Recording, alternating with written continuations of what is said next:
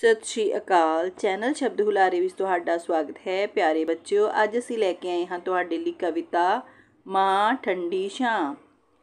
ਮਾਂ ਹੁੰਦੀ ਹੈ ਠੰਡੀ ਛਾਂ, ਮਾਂ ਜਿਹਾ ਕੋਈ ਹੋਰ ਨਾ।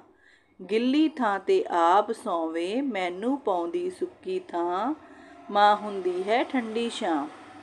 ਪਿਆਰ ਨਾਲ ਮੈਨੂੰ ਜਗਾਵੇ, ਨੁਹਾਵੇ ਧੁਆਵੇ, ਸੋਹਣਾ ਬਣਾਵੇ।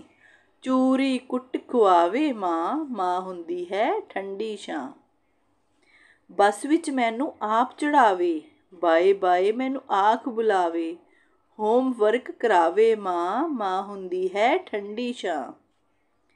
ਚੰਗੀਆਂ ਗੱਲਾਂ ਮੈਨੂੰ ਸਮਝਾਵੇ, ਗਲਤੀ ਕਰਨ ਤੇ ਹੈ ਦਬਕਾਵੇ। ਪਿਆਰ ਨਾਲ ਡਰਾਵੇ ਮਾਂ ਮਾਂ ਹੁੰਦੀ ਹੈ ਠੰਡੀ ਛਾਂ। ਮੇਰੇ ਨਾਲ ਖੇਡੇ ਖੇਡਾਂ, ਮਿੱਠੀਆਂ ਮਿੱਠੀਆਂ ਕਰਦੀ ਛੇਡਾਂ ਲੋਰੀ ਗਾ ਸੁਲਾਵੇ ਮਾਂ ਮਾਂ ਹੁੰਦੀ ਹੈ ਠੰਡੀ ਛਾਂ। ਮਾਂ ਨੂੰ ਕਦੇ ਨਾ ਦੁਰਕਾਰੋ, ਮਾਂ ਨੂੰ ਸਦਾ ਸਦਾ ਸਤਿਕਾਰੋ। ਮਾਂ ਜਿਹਾ ਕੋਈ ਹੋਰ ਨਾ, ਮਾਂ ਹੁੰਦੀ ਹੈ ਠੰਡੀ ਛਾਂ, ਮਾਂ ਹੁੰਦੀ ਹੈ ਠੰਡੀ ਛਾਂ। ਸੋ ਇਹ ਵੀਡੀਓ ਵੇਖਣ ਲਈ ਤੁਹਾਡਾ ਧੰਨਵਾਦ ਹੈ।